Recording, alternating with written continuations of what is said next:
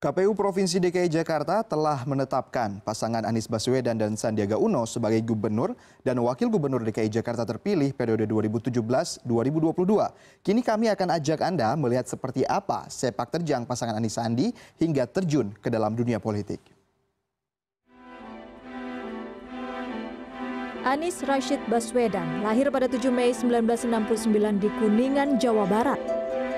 Orang tua Anis dikenal sebagai pasangan akademisi karena ayahnya Rashid Baswedan adalah mantan wakil rektor Universitas Islam Indonesia dan ibunya Aliyah Rashid adalah guru besar Universitas Negeri Yogyakarta. Di usianya yang ke-38, Anis menjadi rektor termuda di Indonesia saat dipilih sebagai rektor Universitas Paramadina Kiprahnya di pemerintahan dimulai ketika menjadi anggota tim 8 KPK pada tahun 2010 dan menjadi ketua komite etik KPK pada tahun 2013. Hingga akhirnya pada tahun 2014, Presiden Joko Widodo mengangkat Anies Baswedan sebagai Menteri Pendidikan dan Kebudayaan. Namun pada tahun 2016, Anies tak lagi menjabat sebagai Menteri Pendidikan dan Kebudayaan karena Presiden Joko Widodo mengganti posisinya dengan Muhajir Effendi. Kini Anies mencoba peruntungan lagi di pemerintahan.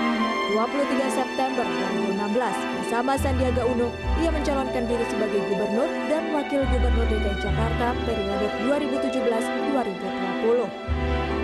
Berbeda dengan Anies Baswedan, wakilnya yang akan mendampingi pada pertarungan politik Sandiaga Salahuddin Uno terlahir sebagai seorang anak. Namun hal ini tidak membuat lelaki kelahiran 28 Juni 1969 di Rumbai Pekanbaru ini berkecimpung di dunia politik.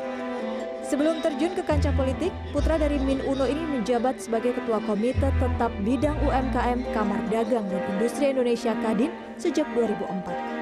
Tak hanya itu, kesuksesan Sandi juga pernah membawa dirinya masuk dalam jajaran orang terkaya di Indonesia versi majalah Forbes tahun 2009. Sandiaga Uno juga pernah dianugerahi sebagai Indonesian Entrepreneur of the Year oleh Enterprise Asia. Kini, sebagai awal karir politiknya, Sandi langsung terjun dalam kancah Pilkada DKI 2017 berpasangan dengan Anies Baswedan. Ratih Wardani, CNN Indonesia.